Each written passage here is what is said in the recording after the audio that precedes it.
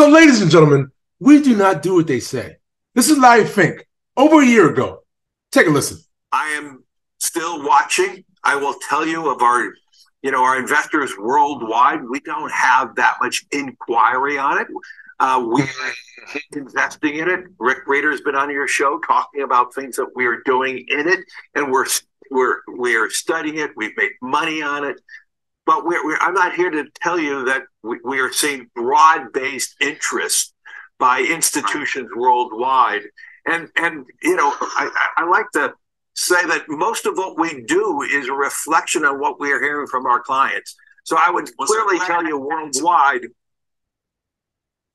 Go on, Andrew. What you're saying, no, no, what you're saying though, I think is very, very important, and I, I just want to put a fine point on it, um, because please you speak, you're speaking to companies all over the world, and, and you're saying now that you don't believe that companies have a unique interest in this. They're not talking. They're not saying, "Hey, Larry, uh, we're thinking about how we can get exposure for our balance sheet."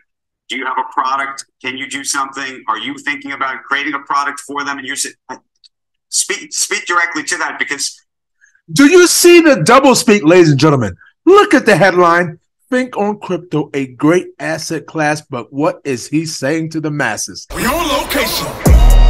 I remember way back. You ain't have no swag. You did a little research. Now you got a moon bag. Now you got a new walk. Now you got new swag. You did a little research. Now you got a moon bag. Well, let me show you what the moon bag's like. You take them gains when it gets that high. I mean, the market may dip for a little bit. And so, ladies and gentlemen, before we get to the juicy part of the steak, I want to give a huge shout out to my sponsors, Lumi Wealth, using algorithms to make investing easier and more profitable. Let's go. What is going on, blockchain monkeys? Eagle here, like, thank you for coming to my jungle. First of all, I'm no financial advisor whatsoever, nor am I professional in blockchain technology. But there's one thing that I absolutely will do, and that's give my opinion. So today we got a hot one, so let's just get right to it. And before we can, I'm gonna need you to rub them hands together. Rub vigorously slide down Twitter. And coming right up the top, we have XRPayNet King Dogo. XRPayNet will get 50,000 every 10th day of the month into the Discord group. The link is right here. If you guys are connected on my Twitter, join in. And then you got Brett Hill coming up the top ropes. With buy now and pay later crypto fiat resolution, XRPayNet will rule the cryptocurrency payment sector. Is that how you feel? Let them know how you feel then, Brett. Now come on down here. And ladies and gentlemen, if you missed it, Jenna X, XRP drop, updates, and huge breaking news. Take a look. And so, ladies and gentlemen, if you haven't seen it, a historic milestone was reached today. For the first time ever, XRPayNet surpassed 1 million US dollars in 24 trading volume. Are you with me? And so, coming back to Larry Fink, you have here Coinbase selected by BlackRock to provide Aladdin clients access to crypto trading and custody via Coinbase Prime. Now, what did BlackRock also just do? Drip. Has this changed your view of crypto at all? You have you now have a deal with Coinbase, um, and and yet you were always sort of also, I think, a bit of a uh, skeptic of all this. Mm-hmm. I actually believe most of the companies are not going to be around. I still believe that. I do believe because they because they're not real. They're frauds. They're what? Well, I mean, let's think about FTX. I mean, you can look back now. FTX created it. Its failure was it's creating its own token. It was not a DeFi. It wasn't. A, it wasn't a uh, you know a, a, ledger that was open to the world. It was a closed ledger. Right. It was not distributed. So the whole. It was not distributed. Foundation of what crypto is. It's supposed to be a distributed ledger that is across the system. I actually believe this technology is going to be very important. I am, I, you know, look at it. We have been part of a huge. we already knew this, Larry. The blockchain monkeys, we already knew this. Investing through ETFs. We believe that ETFs will be changing the whole way we invest. Many people still use it as a means, well, people are investing it for indexing. No, they're the majority of people who are putting money in an index in an ETFs are active investors that are buying exposure. The entire bond market is being transformed as we talk right now. I believe the next generation for markets, the next generation for securities will be will be tokenization of securities. Oh, we know this. Oh, we know this because check this, ladies and gentlemen. Good old Larry says next generation for markets is tokenization.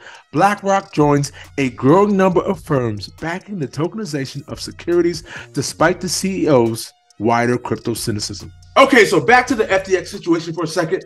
I will tell you this. Caitlin Long, I mean, I'm tired of hearing about it, but I will tell you this. Caitlin Long, Ben told you. Aimed, aimed at, at solving, but the critics of our industry are right that we recreated well, I say we, the, the crypto industry broadly. I, I never was a part of that that short term oriented trading community. I, I, I, for, as you pointed out correctly, for years I've been predicting these businesses will fail and that the yield that were being offered on these leveraged products were not compensating you for the counterparty risk. And it's crystal clear that that's indeed the case now. Um, but back then, it was it was hard to convince folks that, that that was indeed what the outcome was going going to be. And I've just seen this this rodeo multiple times in Bitcoin. It's worth um, worth worth saying that in 2014 we had the Mount Gox collapse. In 2018 we had the Quadriga collapse, and in 2022 we've had the slew of collapses that we all know about.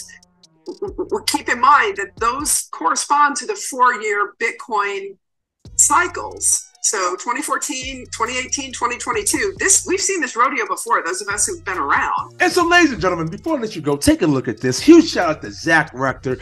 DTCC shares finding in digital dollar settlement project. What do we have here? Let's take a look. And so, coming to Cointelegraph, we have clearing company tests out security transaction settlements on blockchain networks. The Digital Dollar Project and the Depository Trust and Clearing Corporation have trialed a potential settlement system using tokenized securities and central bank digital currencies. And as you see here, US settlement practices differ significantly from the rest of the world. I bet they do. Results of the settlement trial were evaluated by participating banks. Are you ready for this, ladies and gentlemen? Bank of America, Citi, Nomura, Northern Trust, State Street, Virtu Financial, and Wells Fargo. Now, this was the first of five planned pilot projects. The Digital Dollar Project was created in 2020 by the Digital Dollar Foundation and technology consultant firm Accenture. Do you know who Accenture is partnered with? Cause it's the standard in this bitch. XRP. I went to YouTube University, and now they mocking me with no degree. We saying by the swift, keep it walking. Respect your elders in these bushes. Bitcoin is talking. You don't have to be rich to be taking uh, advantage of this. This was the beginning of the greatest transformation of wealth the world has ever fucking seen since World War II. Blockchain, blockchain. We talking about an intellectual choo-choo train. It's DLT up in these streets, man. That's why we rip all on that blockchain. Blockchain.